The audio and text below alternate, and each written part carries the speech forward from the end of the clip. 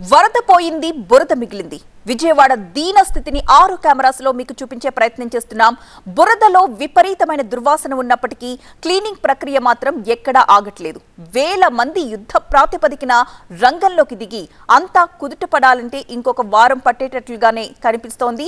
ఎంతమంది సహాయక చర్యల్లో పాల్గొన్నా కూడా ఈ బురద మొత్తం వదిలించడానికి కనీసం వారం రోజులు పడుతుందని చెప్తున్నారు. ఒక్కసారి మనం టీవీ నైన్ స్క్రీన్ పై వరద పోయినా బురద ఏ విధంగా మిగిలి ఉందో ఆరు బాక్సుల్లో మీకు చూపించే ప్రయత్నం చేస్తున్నాం. ఫస్ట్ బాక్స్ రోడ్లను శుభ్రం చేస్తున్నారు.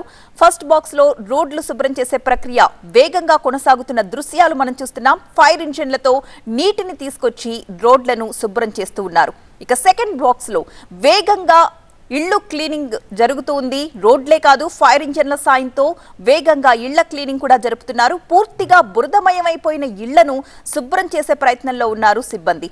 ఇంట్లో ఉన్న సామాన్లు వస్తువులు పుస్తకాలు సర్టిఫికెట్లు అన్నీ పూర్తిగా పాడైపోయాయి. ఇక థర్డ్ బాక్స్లో శానిటేషన్ సిబ్బందికి సంబంధించిన దృశ్యాలవి.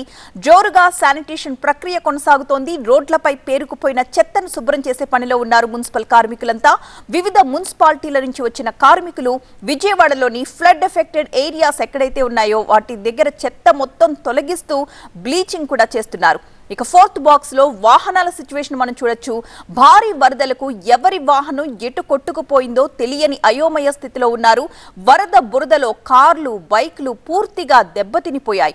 అరకొర ఆసున్న వారు కూడా తమ వాహనాల్ని మెకానిక్ సెంటర్స్లో రిపేర్ చేయించుకోవడానికి తోసుకుంటూ వెళుతున్నారు. ఈ విజువల్స్ని కూడా మనం నాలుగో బాక్స్లో చూస్తున్నాం. ఇక ఫిఫ్త్ బాక్స్లో రేషన్ పంపిణీకి సంబంధించిన వాహనాలకు సంబంధించిన దృశ్యాలు మనం చూడొచ్చు. రేషన్ పంపిణీ కోసం సర్వం సిద్ధమైంది. ఈ రోజు సీఎం చేతుల మీదుగా ఇంటింటికి రేషన్ పంపిణీ కార్యక్రమం ప్రారంభం కానుంది. అంతకంటే ముందు బాధితులకు అవసరమైన ఆహారం నీరు అందించే ప్రక్రియని కొనసాగిస్తారు. ఐదో బాక్స్లో ఆ విజువల్స్కి సంబంధించిన మనం చూస్తున్నాం ఆ ట్రక్స్ అన్ని కూడా.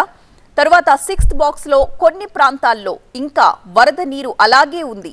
ఒకటి రెండు అడుగుల వరకు ఇంకా వరద నీటిలోనే ఇళ్ళు కనిపిస్తూ ఉన్నాయి. ప్రజలు ఆ నీటిలోనే జీవనం కొనసాగిస్తున్నారు. మరొక రెండు రోజుల్లో ఈ ప్రాంతాల్లో కూడా వరద నీరు కాస్త తగ్గుముఖం పట్టే అవకాశాలున్నాయని చెప్తున్నారు. ఓవరాల్గా శానిటేషన్ సిబ్బంది మున్సిపల్ సిబ్బంది అందరూ కూడా ఈ సహాయక కార్యక్రమాలు ముమ్మరంగా చేస్తూ ఉన్నారు.